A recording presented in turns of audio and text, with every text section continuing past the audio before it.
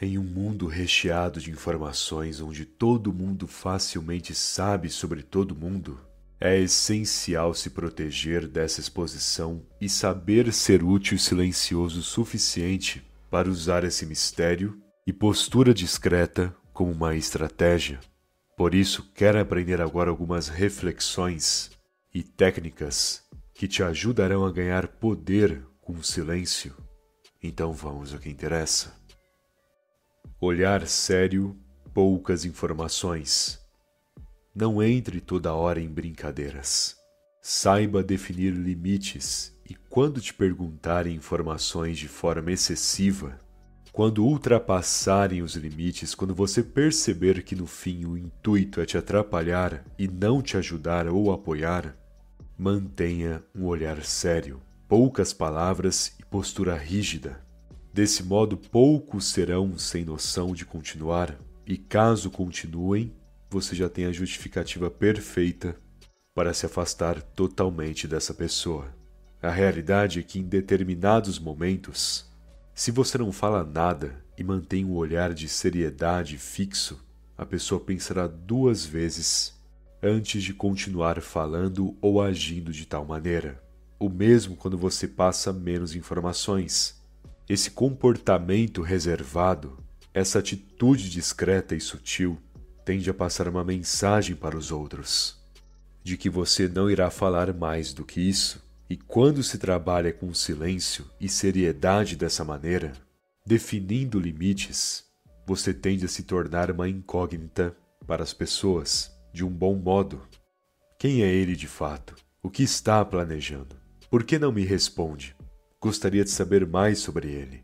Serão esses pensamentos e dúvidas que passarão na mente dos outros, e é a partir disso que você deve trabalhar com elas. Trabalhe com esse mistério. Deixe elas pensarem, subestimarem ou admirarem, porque é nesse jogo, interagindo com as pessoas desse modo, que você estabelece os seus planos nas sombras e define quem realmente é de pouco em pouco, sem que as pessoas percebam ou tentem te atrapalhar. Portanto, responda menos perguntas, não interaja em exagero e saiba definir limites, exercendo um comportamento sério nos momentos em que será necessário, pois é assim que te levam a sério e é assim que passarão a tomar mais cuidado em relação a você. Não que as pessoas vão sentir medo também, mas respeitarão a sua seriedade e silêncio. Menos opiniões, mais atitude. Vivemos em um mundo onde todos querem opinar sobre algo. Se você não tem opinião sobre isso, está em cima do muro. Se não sabe sobre tal assunto, precisa saber porque é importante. Se não gosta de tal coisa, então você é contra sei lá o quê. No fim, é uma guerra ideológica. Milhares de pessoas brigando para verem quem está certa, quem tem razão, quando na verdade ambas se enfraquecem nesse joguinho manipulado. O que o sistema mais quer é que as pessoas se dividam em grupos ideológicos, cheios de opiniões e polêmicas. E olhe bem para o mundo agora. É exatamente isso que aconteceu: pessoas praticamente destruindo a sua sanidade só porque querem ter razão sobre algo. Algo que, inclusive, não fazem ideia sobre o que se trata no final das contas. Por isso, não fique por aí discutindo e colecionando opiniões. Na boa, o dia que você acordar e não ter ideia sobre as polêmicas que acontecem por aí, você finalmente estará no caminho certo, porque não interessa aquilo que você não pode controlar. Do que adianta discutir ou opinar se nada disso mudará o cenário real sobre essas coisas? A realidade é: quer mudanças, quer que de fato tenha poder em suas decisões, então tome atitudes em vez de opinar. Enquanto todo mundo fica aí só falando abobrinha, só falando besteira, tenha atitudes eficazes, crie efeitos duradouros em seu rumo. Trabalhe para que de fato se proteja do pior e estabeleça mudanças que te levarão até um caminho digno e importante, porque é isso que trará a você o melhor do mundo. É isso que trará a você um poder real, onde decidir de fato trará efeitos. Agora, ficar aí discutindo, vendo quem está certo, brigando à toa. Isso é coisa de gente medíocre. E não preciso nem dizer que no mundo de hoje, o que mais tem é mediocridade. Resultados sem comemorar. É impressionante o tanto de gente carente no mundo atual. Praticamente conquistam para os outros, não para si mesmos, já que a primeira coisa que fazem quando ganham algo é postar nas redes sociais, comentar com todo mundo, dizer o quanto está feliz. Porém, nunca sentem felicidade alguma, pelo contrário, é sempre um vazio. Porque nunca conquistaram para elas, nunca pensaram em si mesmas, apenas pensaram em como seria se ganhassem algo e o que os outros pensariam disso tudo. É tão triste ser carente dessa maneira, esquecer do próprio potencial, apagar a própria felicidade individual. É por essa razão que você tem que parar de comentar os seus resultados para os outros. Ganhou? Conseguiu o que tanto queria? O seu plano saiu exatamente como planejava? Ótimo! Agora fique quieto, aproveite os frutos dessas ações e mantenha-se focado, pois é apenas uma vitória que não garante muito. Aliás, esse é o ponto. Você nunca deve se iludir diante de uma conquista, por mais que seja excelente, já que é apenas uma vitória não garante toda a guerra que é a sua vida. Então não se conforte, mantenha-se alerta e, se for para comemorar, ou comemore consigo mesmo, ou somente com as pessoas que você sabe que pode confiar e que sempre te apoiaram. Já o resto, deixe o resto sem saber, ou deixe descobrirem quando essa conquista se tornar uma notícia antiga, já que é assim que se protege, é assim que você se mantém à frente sem precisar se preocupar. Entenda: quanto mais inveja evitar, melhor. Identifique os falsos e fofoqueiros. É importante analisar aonde está o vazamento. Caso contrário, nunca resolverá essa questão. Se não entender por onde vazam as informações, nunca terá controle sobre elas. Por isso, seja no trabalho, faculdade ou até no meio familiar, Identifique quem são os falsos e fofoqueiros. Quem são as pessoas que mais te questionam?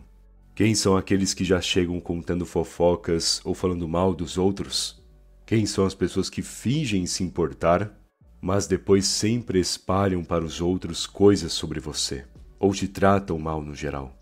No fim, gente falsa não tem cuidado algum. Não são sutis, pelo contrário, fazem muito barulho, pois gostam disso. E é a partir delas que você criará o efeito de confundir os outros. Afinal, você sabe que vazarão informações sobre você de um modo ou de outro, mas não necessariamente informações verdadeiras. Você pode muito bem brincar sobre isso. Contar histórias mirabolantes, meias verdades ou até boatos criados por você mesmo. Deixar elas se corromperem através do próprio veneno ocultar as informações importantes e transformar informações bobas em importantes. Ou apenas fingir que não sabe de nada. No fim, gente fofoqueira é apenas um instrumento para que você despiste os outros. E quando perceberem que você está brincando com elas, não vão te procurar mais. Ou seja, é somente vantagem essa estratégia. Tenha técnicas aprimoradas. Como ele fez isso? Como conseguiu se diferenciar em algo que muitos já tentavam? Como ele pode ser tão bom nessa habilidade? A realidade é que inúmeros restaurantes dominaram o mercado por causa de uma receita secreta. Um executivo também já dominou o mercado fazendo múltiplos negócios, pois tinha um produto diferenciado que a maioria precisava. Ou um atleta que, competindo com outros que possuíam habilidades iguais ou semelhantes, soube criar um método que deixou ele em outro nível no jogo. Em toda competição, em toda área social em que haverão outros tentando fazer o mesmo, você deve inovar. Por isso é importante nunca se acomodar, e é por essa razão que você deve treinar sempre no silêncio, para que quando consiga, ninguém saiba como você conseguiu, e com isso não terá ninguém copiando a sua ideia. É assim que se move no mundo, de forma sorrateira, como uma raposa, Nunca se comporte de forma ingênua e nunca se conforte como que conquistou. Nunca aceite o nível em que está. Tente sempre mais, tente sempre melhorar, pois será com essas experiências, astúcia e tentativas no geral que você irá se diferenciar dos outros cada vez mais, tornando-se cada vez mais valioso em relação ao que faz ou ao que é no geral.